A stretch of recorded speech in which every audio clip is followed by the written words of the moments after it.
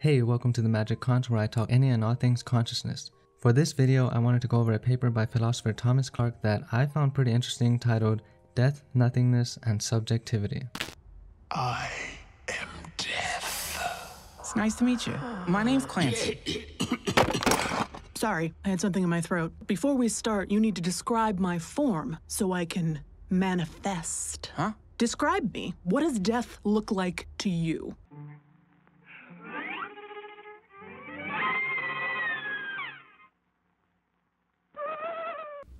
Who am I? Death.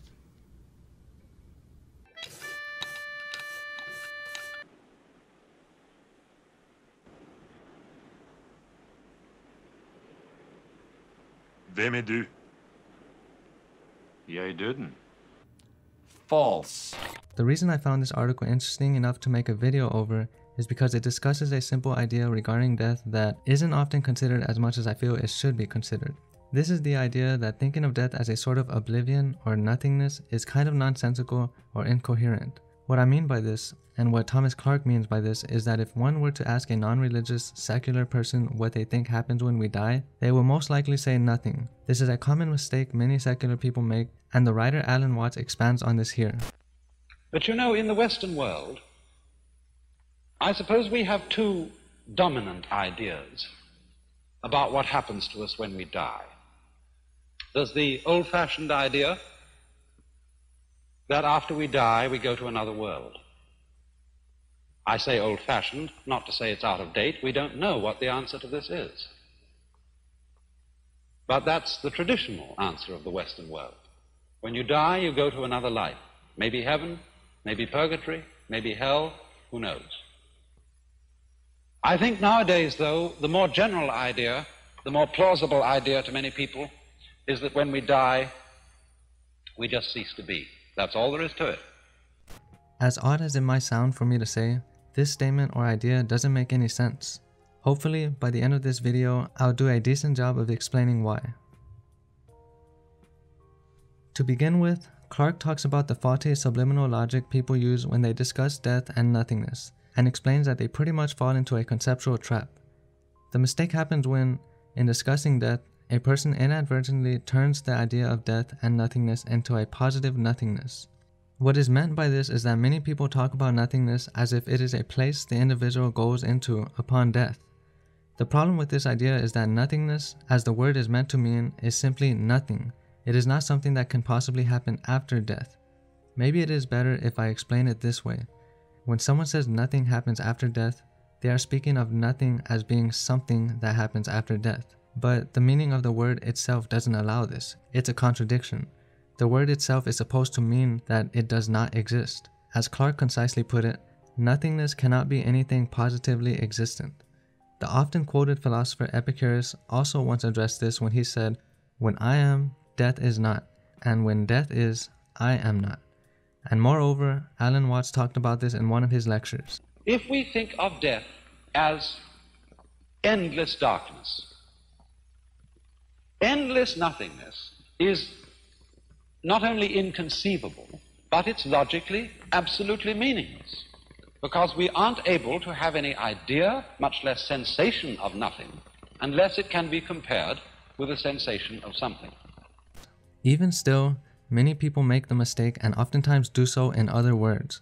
For example, they will usually describe death and refer to it as an engulfing emptiness, a peaceful oblivion, an abyss, a black hole, or eternal nothingness, and similarly, these individuals will anticipate darkness, silence, and the end of all experience. Just a quick note before going forward, it is important to add, following the paper's format, that Clark's guiding philosophy is completely naturalistic, materialist, and non dualist. He doesn't believe the universe contains souls, spirits, and mental essences, and he doesn't make any claim that persons possess any kind of essential core identity, an indivisible self or soul. In a recent podcast with Stuart Preston, Clark describes his own views as such. But again, I, I want to re- reiterate that I'm a naturalist, scientific-based naturalist. I don't put any any um, stock in anything supernatural or wooish, as the, the current term is. With that being said, we can continue following along Clark's paper. Before getting to his main claim, Clark goes over a few examples of how people have mistakenly used the term nothingness and in doing so, given a mistaken description of death. If you have any doubts as to whether people actually make this linguistic or conceptual mistake, here are a few examples. The first is a quote from Isaac Asimov, in which he says, When I die, I won't go to heaven or hell. There will just be nothingness. Hopefully, you can already see what's wrong here. He says there will be nothingness. You can cut him some slack though. If we take a look at the word itself, we can see a possible reason for why many make this mistake. As Clark explains, the suffix ness makes one think of something which is nothing, or that stuff which is nothing. So there is a bit of a contradiction in the word itself. Another quote Clark highlights is from the novelist Anthony Burgess, where he writes Am I happy? Probably not. Having passed the prescribed biblical age limit, I have to think of death, and I do not like the thought. There is a vestigial fear of hell or even of purgatory, and no amount of rereading rationalist authors can expunge it. If there is only darkness after death, then that darkness is the ultimate reality, and that love of life that I intermittently possess is no preparation for it.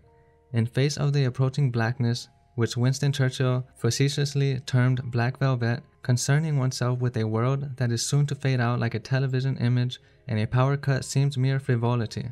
But rage against the dying of the light is only human, especially when there are still things to be done, and my rage sometimes sounds to myself like madness.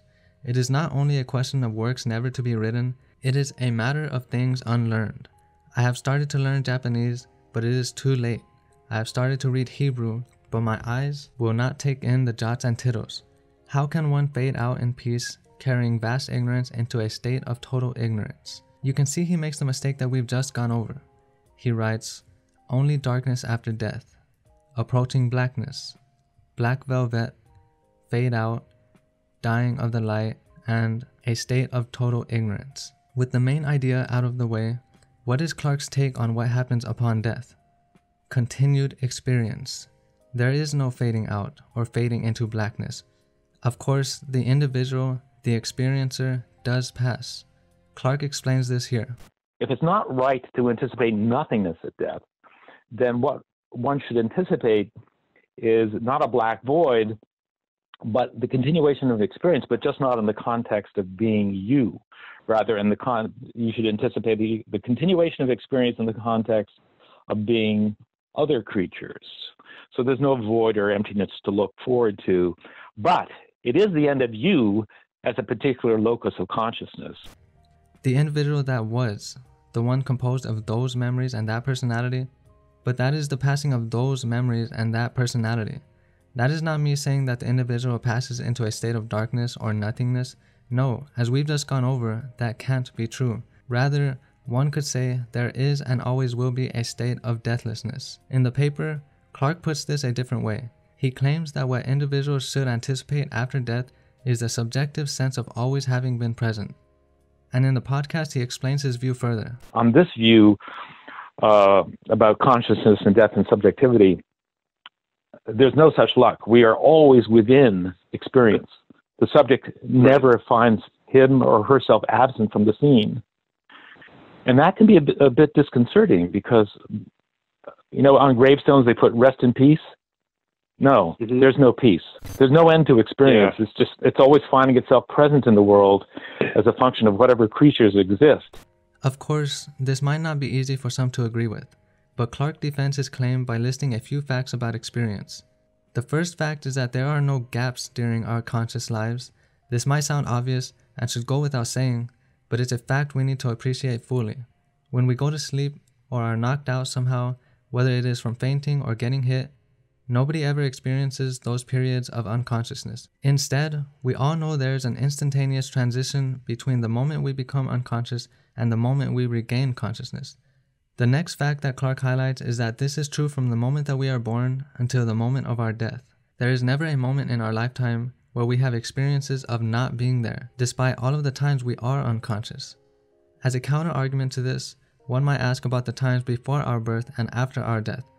Obviously, we aren't there, so these must show us that there is nothing for us. But this again confuses the idea of nothingness. Clark expresses as much when he says, We don't ordinarily think of the time before we come into existence as an abyss from which we manage to escape. We simply find ourselves present in the world. One part I particularly like from the paper is when Clark explains that all we have as subjects and experiencers is this finite block of experience between birth and death. And it is because this is all we have that we can never experience its finitude. Another idea showcasing the bittersweetness of impermanence and death is described by Alan Watts here. This is why the demon of impermanence is beneficent. Because it is forgetting about things that renews their wonder. Just think. When you opened your eyes on the world for the first time as a child, how brilliant colors were. What a jewel the sun was. What marvels the stars. How incredibly alive the trees were. That's all because they were new to your eyes. And so, by the dispensation of forgetting, the world is constantly renewed. And we are able to see it again and again, and to love again and again, to have people to whom we are deeply attached and deeply fond, always with renewed intensity, and without the contrast of having seen them before, before, before, before, for always and always and always. I know that these facts about experience aren't enough to convince someone that when they die, they should anticipate the subjective sense of having always been present. Clark knows this too, and so poses a thought experiment to try and fully convince someone of his argument. Now, I won't take any sides on whether this thought experiment is what should or could push someone over into being convinced, so I'll just describe the thought experiment here and let you decide. The thought experiment goes as follows. In some time in the not so distant future, humans have developed technologies that could put all biological processes on hold for any amount of time and set them to play again. Essentially, the technology could make someone unconscious for any amount of time, whether it is a few minutes, a few months, or a few years. Now, let's say that one day you choose to use this technology. When you wake up, you will notice that you haven't experienced any of the time that's passed. All you will know and remember is the moment before being put on pause and the moment after you were put to play again. This is no different from the naps that we take or from a normal night's sleep. Next, let's say that you decide to use the technology again, except this time the machine malfunctions and the doctor that's doing the work's hand spasms because he's going on 11 hours and hasn't had lunch. Because of all of this, they mess up parts of your brain and you wake up with a changed personality and changed memories. However, despite these changes, you still wake up with the sense that you are you and that the last experience you had was when you went under for the procedure. At this point, Clark asks an interesting question. How much change must occur before we can no longer safely say that the same individual wakes up?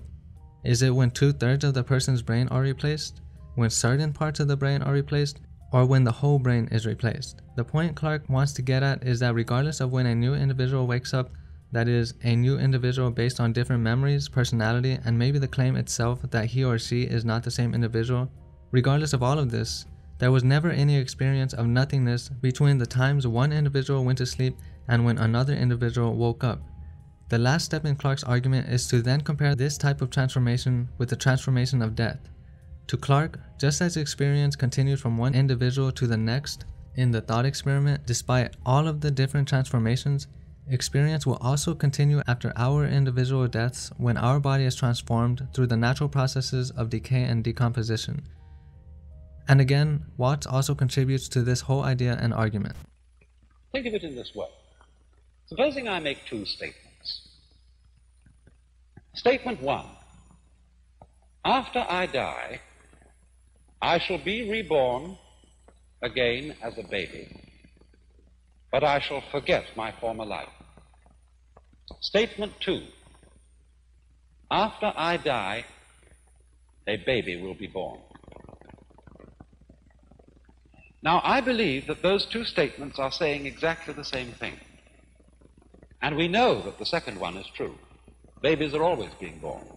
Conscious beings of all kinds are constantly coming into existence after others die. But why would I think that the two statements are really the same statement? Because after all, if you die and your memory comes to an end, and you forget who you were, being reborn again is exactly the equivalent of somebody else being born. Because we have no consciousness of our continuity unless we have memory. If the memory goes, then we might just as well be somebody else. This pretty much concludes the paper and its argument, but I have a few concluding thoughts. First is that I in no way discussed the paper and its ideas in as much detail as I could have. For this reason, you can find the link to the paper in the description of this video. And secondly, I know that death isn't always easy to talk about, and that it can have exhaustive tolls on us mentally and emotionally. I know that sometimes philosophical arguments and beliefs aren't enough to make us feel better after the passing of a loved one, because even if we are convinced of ideas like the ones in this paper, we are still only human and sometimes our emotions are uncontrollable. Even if we, now or eventually, come to the belief that death doesn't involve any kind of actual end, there is still the ending and the absence of that individual we loved. And the sadness that comes from that is something no philosophy, religion, or ideology can do away with. But hopefully, there is still some solace in the idea that there is no actual end for that loved one. And therefore, I think what is meant is that the vacuum created by the disappearance of a being, by the disappearance of his memory system, is simply filled by another being who is I, just as you feel you are I. The funny thing, though, about being I, about feeling that one is sort of a center of the universe, is that you can only experience this I sensation in the singular.